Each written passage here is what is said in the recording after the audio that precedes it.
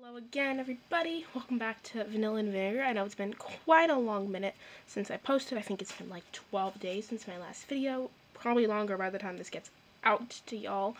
But anyway, in today's video we are recreating some Pinterest outfits that I've seen floating around on Pinterest, on Instagram, you know, just some outfits that I've seen people wearing, I don't know.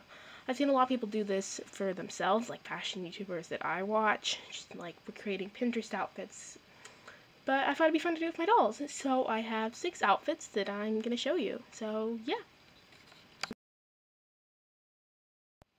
Okay, so this first outfit is very reminiscent of like those very fancy coat outfits.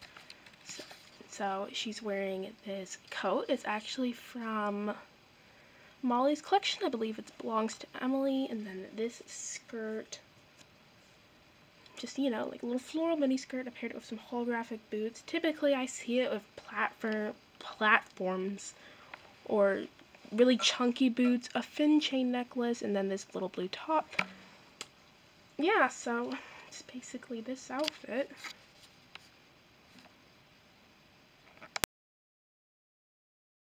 Outfit is something I think we'll be seeing a lot this spring just from pictures I've seen. It was very popular last year. So this is just a floral mini skirt with a chain necklace and then some red leggings. Preferably, I would put this with some patterned tights and then some shoes that kind of remind me of Air Force Ones. It's got, the bodice is, you know, slightly, what is it called, ruched up here. You can't really tell because the camera won't focus. But yeah, model on my newest armor. It's uh, this outfit is just your classic goblin core, grunge fairy core overall with a sweater fit. I made the sweater myself and the pants are from Emily's snowsuit with just these shoes that I don't really know where I got. Honestly, I would wear this. I think it's very cute. It'd be a bit cute if the overalls were brown, but I don't have any brown overalls and I don't want to dye these. But yeah, I think Addison makes it look really cute on them. Yeah. Okay, so this outfit, if I'm sure you've seen something like this.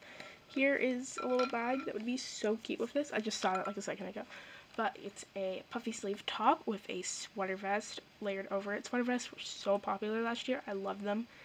And some floral pants. She doesn't have any shoes, but I do I lost one of these shoes for some reason. Just like some chunky silver shoes. She's got a pearl clip and it's modeled on Luciana. Okay, so this is just your fit glowy cottagecore wintry outfit. I don't even know. It's very shiny. So with this tennis skirt that I made, just, you know, a pleated skirt with a sweater, very basic outfit.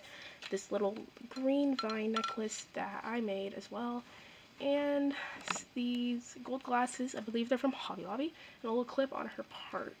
I've seen a lot of people do that with their hair. I think it's kind of cute. Uh, it doesn't really work with dolls because the way their parts are. But yeah, this is modeled on my doll Lita.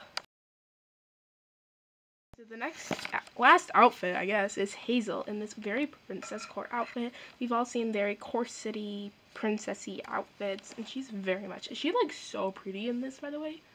Allie, if you're watching this, thank you so much for her. Some little, they're the boots that came with Addie.